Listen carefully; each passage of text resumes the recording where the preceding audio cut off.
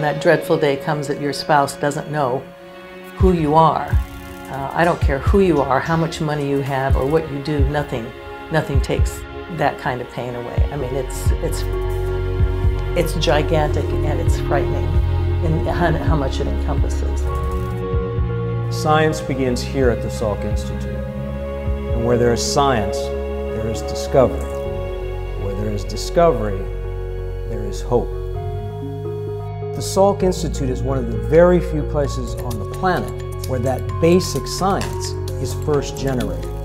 If you don't generate the basic science, you have nothing to translate. And that's why the Salk Institute is so important. First time that my sister told us that she had premalignant melanoma, it didn't really sink in. She just thinks that, you know, one day it's it's inevitable that she's going to miss one or the dermatologist will miss one.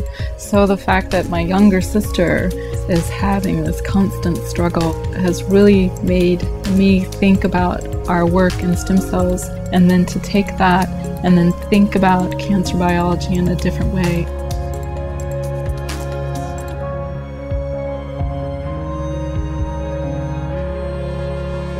My inspiration for working on plant systems is manyfold. One is my children. You know, I'm worried about where the globe is going, and I think by understanding plants, which are really at the heart of our food chain, I can leave them at least with the ability to sustain themselves into the future. We're looking for the truth of the disease. We're looking for what's really going on in the disease.